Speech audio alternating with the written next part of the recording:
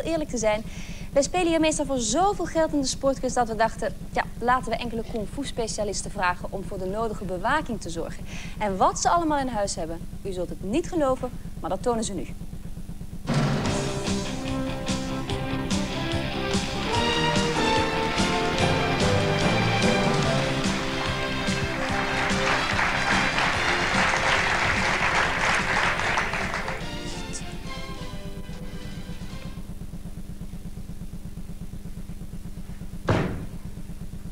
电视机前的朋友，我们是来自中国嵩山少林寺的武僧，应邀前来比利时进行武术教学表演。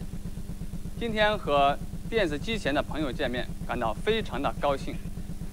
现在表演的是少林罗汉拳，它动作朴实无华，刚健有力。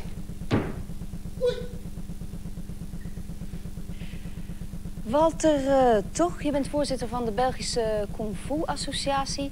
Dat ziet er allemaal heel spectaculair uit. Ik heb er niet echt veel van begrepen, maar goed. Wat is Kung Fu nu eigenlijk? Is het beeld dat wij ervan hebben uit het Amerikaanse feuilleton daar met David Carradine... is dat beeld juist of... Nee, David Carradine, eerst en vooral, dat was een Amerikaan. Normaal zou, zou de plaats moeten hebben van Bruce Lee. Natuurlijk, eh, wat u ziet, eh, die dialoog tussen meester en leerling, dat is wel goed. Maar ik heb zelf verschillende jaren in de Shaolin-tempel geweest. Die is wel ruwer en op televisie is dat wel romantischer.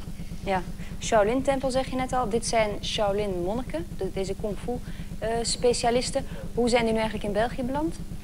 Die zijn dus in België beland met mijn tweede reis dat ik eh, dus gedaan heb naar de Shaolin-tempel voor mij te volmaken in het kung fu. En ik ben er in contact gekomen met de meester Zhao Honbo. En zo heb ik deze mensen dus naar België gebracht. Want tenslotte, het is één, bijna 1 miljard mensen doen het kung fu. Er waren ook verschillende landen aanwezig. Maar door het feit dat ik de toelating had en het contact, heb ik deze mensen dus eh, Ja. naar hier gebracht. Ja. Je bent vanaf eh, jongs af aan eigenlijk bezig geweest met eh, dergelijke sporten, gevechtsporten. Wat trek je er nu zo in aan? Wat mij daarin aantrekt is het eerst en vooral de eerste fase, de mystiek, de bewegingen. Hè. En later, jaren, jaren nadien, is het meer of sport. Het is een kunst. Je kunt mensen helpen. Het is niet vechten. De agressiviteit verdwijnt. Je komt in contact met veel mensen, veel ideeën. En dat is wel zeer belangrijk, vind ik, als je dat uit de krijgskunst kunt halen. Eh, waarom zou je iemand eh, aanraden om eh, je tot die sport eh, te wenden? Eh, eerst en vooral voor u te leren verdedigen. Ook voor uw condition op peil te houden en ook voor vertrouwen te krijgen. Ja. Ja. Het er allemaal spectaculair uit, met wapens zelfs, maar gevaarlijk is het toch niet? Nee, dat is niet gevaarlijk. Eh, dus het kung fu wordt ook gedaan met wapens, zonder wapens. Maar dat zijn dus tao's of dingbeeldige gevechten. Waar men de- zich dus eh, verdedigt tegen dingbeeldige tegenstevers. Ja. Je hoort bij kung fu en andere gevechtsporten vaak zeggen het is eigenlijk meer dan sport. Het is echt een levenswijze, een filosofie, klopt dat? Ja, dat is zeker zijn vast zo. Het heeft meer te maken dan sport. Maar natuurlijk, nu is dat geëvolueerd.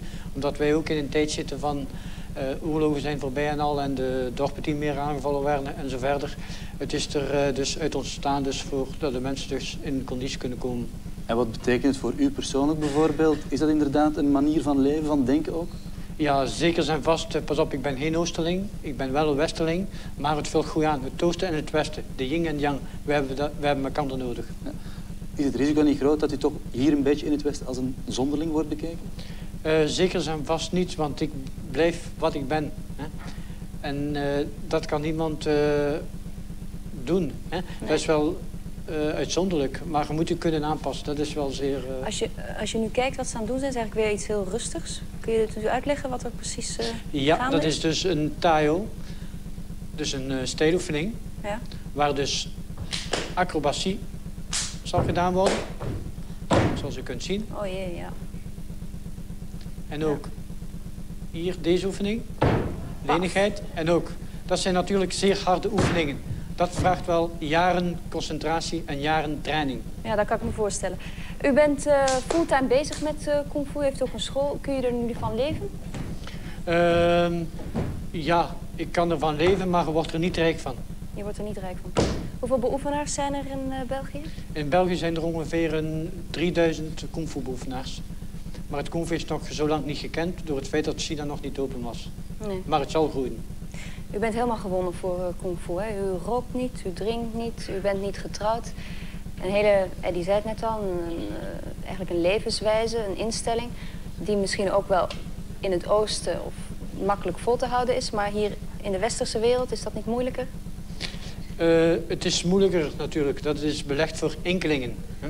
Maar uh, voor de grote massa, en de mensen, ik heb al duizenden mensen opgeleid... kunnen toch een, een deel uithalen hè, en aanvullen in de westerse wereld. En dat is wel belangrijk. Ja. In de laatste demonstratie, die waar we zo meteen naar gaan uh, kijken... dat zal ook een hele spectaculaire zijn. Want ik heb begrepen dat er een stok zal worden gebroken op een buik of ja, zoiets. Ja, dat heeft dus te maken, dus dat zit ook in het wushu, de shikon. De ja. shikon, dus de vitale energie. Natuurlijk, nu komt het overal spektakel, maar het heeft een doel. Ja. Het doel is dus bijvoorbeeld voor weerstand op te bouwen. Dus de, ener de energie die dus uit de tandjem komt, uit de onderbuik, realiseren. En dat, in praktijk is dat bijvoorbeeld als men een tegenaanval krijgt, dus voor die tegenaanval dus op te vangen. Dus eigenlijk als bescherming dan? Als bescherming, ja. Als, als schild of als, uh, okay. als muur. Laten we er eens naar kijken. Bedankt Walter toch.